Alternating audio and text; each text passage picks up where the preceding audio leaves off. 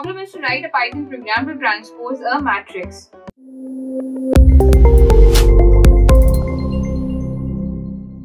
Hello everyone, a very warm welcome to WsCube Tech. My name is Ayushi Jain in this video we will learn how to write a program that will allow us to transpose a matrix.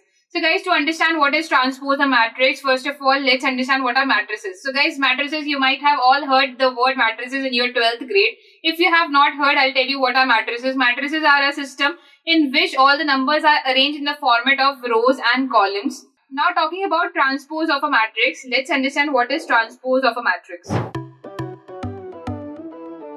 Let's understand it in this way. So if I have a matrix of 1, 2, 3, 4, 5, 6.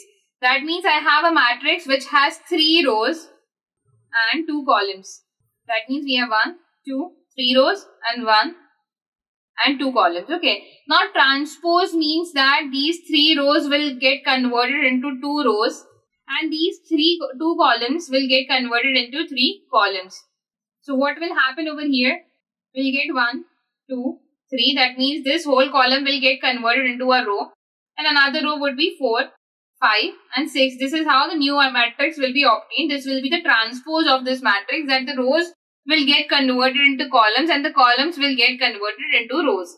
Now how to obtain this in Python? Let's see how it can be done. For that, first of all, I will create a matrix over here that A is equals to, in the format of list, I'll be adding the numbers. So I'll be writing 1, comma 2, comma 3, comma 4, comma 5, comma 6. Okay. This is my matrix. Now we have two rows over here and three columns, right? And I will create a result.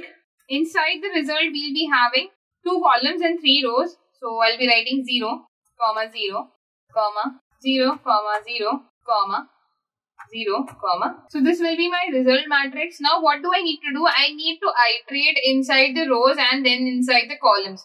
So iterate inside the rows, I'll be writing for i in range and the range would be 0, 0 and 0. That means if we are talking about this row over here, so range would be 0, 0, 0 and 1, 1, 1.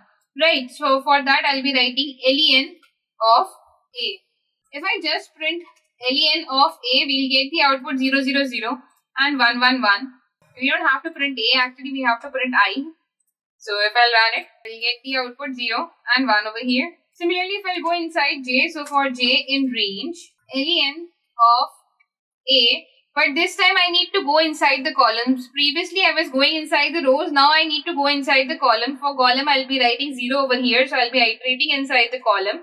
Let's print j and see what output we will get. As soon as I print j over here, I'll get the output 0, 1, 2, 0, 1, 2. This is how our columns are going while our rows are going as 0 and 1. That means 0, 0, 0 and 1, 1, 1. So if I print i instead of this, I'll get the output 0, 0, 0 and 1, 1, 1. That means we are iterating in what? And we are iterating in both rows and columns. Now rows and columns needs to get converted into columns and rows over here. For that I'll be writing result. Now inside the result because we want j first. That means because we want columns first we'll be writing j and then we will write i. So j is holding our column. That's why we will be writing j first and then i will be equal to a i j. So basically what I have written over here is very simple that I have written result columns rows is equal to our matrix is rows and columns. That means the rows will get converted into columns and the columns will get converted into rows. So now let's run and see what output we will get. So if I print result and run it, so I'll get the output in this way. I have 1, 4, 2, 5, 3, 6, but it does not look like the transpose of this matrix, right? So how to make it a transpose of this matrix? I, all I need to do is I need to put a for loop over here. So I'll be writing for i in result colon print result. No, I don't have to print the result. I have to print i. And as soon as I run it, I'll get the output 1, 4, 2, 5, 3, 6. That is our matrix over here which has 3 rows and 2 columns. Initially we had 2 rows and 3 columns and now this has been converted into 2 columns and 3 rows. This is how we obtain a transpose of any matrix. So guys this was our solution number 1 where we used for loop. So I'll be writing solution 1 using for loop. Now we'll be talking about solution 2 of this problem. We can do this problem with one more method. Let's write that. So I'll be writing solution 2 using list comprehension. So here again I'll pick up this example and I'll paste it over here. Now list comprehension. Inside the list comprehension I'll be creating a variable called as result. So for the result we'll be writing inside the square bracket First of all, we'll be printing the result that what our result is going to be. So I'll be taking the same matrix which whose transpose we need to find. So in, in the same matrix only I'll be making the changes over here. So A, A of, that means first of all we need to convert the rows into the columns. Then we need to convert the columns into the rows. After that I'll be taking a for loop that for J in range. First we'll be going inside the columns. So len of A and our second loop will be for i in range and then we'll be going inside the columns.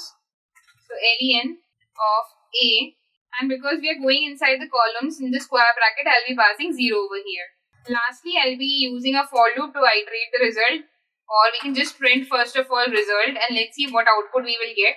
So as soon as I ran it I again get the output in the form of a list over here that is 1, 4, 2, 5, 3, 6. To iterate it all we need to do is we need to write for i in result print i and let's run it and also let's put our previous code inside the comments so as soon as I run it I'll get the output.